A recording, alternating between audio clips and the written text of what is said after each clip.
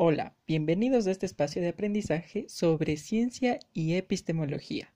Hoy hablaremos acerca del objetivo de la epistemología.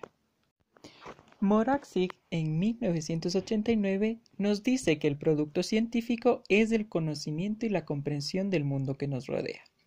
Puede darse a corto plazo, en donde solo es comprensible por sus especialistas, y por tanto solo ellos pueden valorar su importancia. Además, es importante realizar evaluaciones que permitan comprobar el rendimiento de la ciencia en relación a los productos científicos, para verificar su utilidad. La comprensión del producto científico. Según Medina y Ramírez en el 2015, esta está dada en tres pasos. Primero, para entender un producto científico también se debe entender la importancia de la redacción del mismo.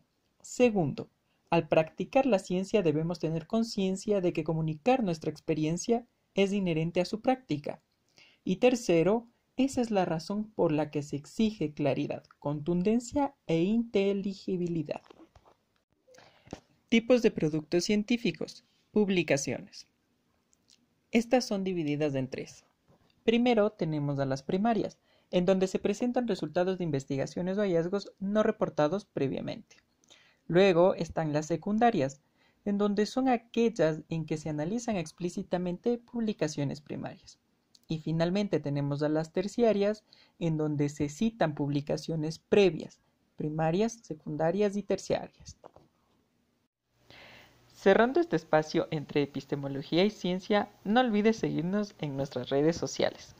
En Instagram nos puedes agregar como epistemología-ciencia y sociedad. En Facebook nos puedes encontrar como epistemología entre la ciencia y sociedad.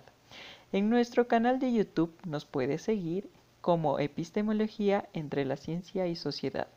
En Pinterest como arroba epistemispsico en Twitter como epistemología entre la ciencia y sociedad y finalmente en nuestra cuenta de TikTok como arroba episte-ciencia y sociedad.